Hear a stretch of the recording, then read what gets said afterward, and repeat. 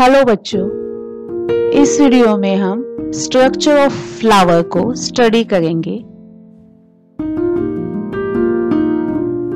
हम देखेंगे structure of flower types of flower the process of pollination and what is fertilization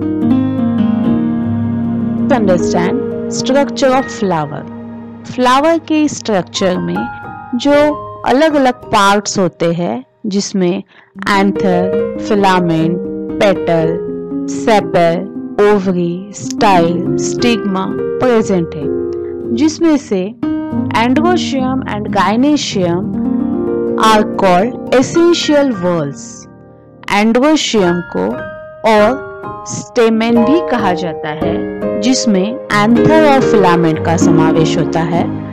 जबकि gynoecium को pistol भी कहा जाता है, जिसमें स्टिग्मा, स्टाइल और ओवरी का समावेश होता है। ये सभी एसेंशियल वर्ल्स है, जबकि calyx and corolla are called as accessory whorls. Calyx को हम सेपल कह सकते हैं, कोरोला को हम पेटल कहते हैं। पेटल के साथ हम इनको पंखुड़िया भी कहते हैं। पंखुड़िया और सेपल। ये एसेसरी वर्ड्स है, क्योंकि ये सेक्सुअल रिप्रोडक्शन में डायरेक्टली इन्वॉल्व नहीं होते, जबकि एंड्रोशियम और गाइनेशियम इनके ज़रिए फ्लावर में सेक्सुअल रिप्रोडक्शन की प्रोसेस होती है, इसलिए इसे एसेंशियल वर्ल्स कहा जाता है। Flower is called bisexual if both whorls that are androecium and gynoecium are present in the same flower. For example, hibiscus. Hibiscus ऐसा फ्लावर है जिसमें androecium and gynoecium both essential whorls present होते हैं और इसीलिए इसे बाइसेक्सुअल फ्लावर कहा जाता है जबकि कुछ फ्लावर ऐसे होते हैं जिसमें या तो एंड्रोशियम होता है या फिर गायनेशियम होता है, और ऐसे फ्लावर को यूनिसेक्सुअल फ्लावर कहा जाता है। A flower is called as unisexual if any one of above mention two whorl is present in the flower if only androecium is present it is called male flower and if only gynoecium is present it is called as female flower for example papaya papaya के flower अलग अलग होते हैं male flower and female flower now let's understand the process of pollination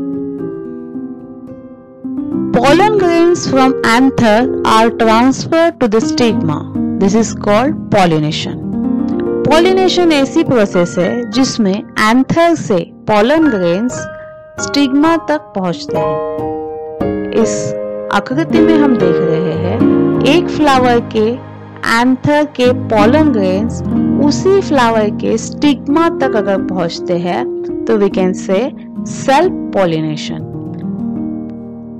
दूसरी आकृति में हम देख रहे हैं, एक फ्लावर के पोलन ग्रेन्स दूसरे फ्लावर के स्टिग्मा तक पहुँच रहे हैं, और इस प्रकार के पॉलिनेशन को हम कह सकते हैं cross pollination cross pollination process complete करने के लिए पॉलिनेटर्स रिक्वायर्ड होते हैं। पॉलिनेटर्स जो है, यह टू टाइप्स के होते हैं। Pollination occurs with the help of abiotic agents that is wind and water and biotic agents like insects and other animals pollination की प्रोसेस को कंप्लीट करने के लिए पॉलिनेटर्स इंपॉर्टेंट होते हैं और ये पॉलिनेटर्स को हम agent pollen agent of pollination कहते हैं। ये एजेंट बायोटिक एजेंट होते हैं अबायोटिक एजेंट होते हैं। बायोटिक एजेंट में बर्ड्स एनिमल्स इंसेक्ट्स बटरफ्लाईज इनको इंक्लूड किया जा सकता है, जबकि अबायोटिक एजेंट्स होते हैं, हवा और पानी। Now let's understand what is the process of fertilization fertilization ऐसी प्रोसेस है, जिसमें male and female gametes united होते हैं, उनका यूनियन होता है और जायगोट फॉर्म होता है। Diploid zygote is form in the process of process of process of fertilization by union of haploid male and female gamete. The process is called as fertilization. तो flower में ये fertilization किस तरह से होता है stigma become sticky during pollination pollen germinates when they fall upon such sticky, sticky stigma that is a long pollen tube and two male gametes are formed. The pollen tube carries male gametes. Pollen tube reaches the embryo sac via style tip of the pollen tube burst and two male gametes are released in embryo sac. The male gamete unites with the egg cell to form zygote. This is fertilization process.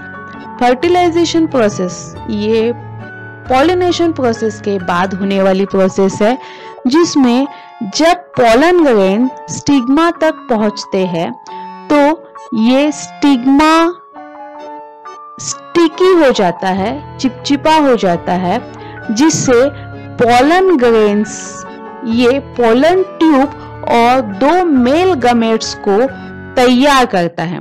ये pollen tube से male gamete embryo sac तक पहुँचते हैं।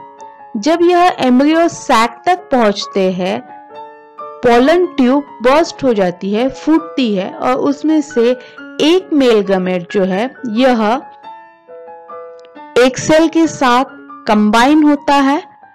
और इस process को fertilisation process कहा जाता है। एक सेल से यूनाइट होने के बाद जाइगोट फॉर्म होता है और यहाँ पर फ़र्स्ट फर्टिलाइजेशन प्रोसेस हुआ है, जबकि सेकेंड मेल गमेट यह पोलर न्यूक्लियर के साथ कंबाइन होता है यूनाइट होता है और एंडोस्पर्म फॉर्म करता है। एज यहाँ पर टू न्यूक्लियर फर्टिलाइजेशन की प्रोसेस में पार्टिसिपेट करते हैं।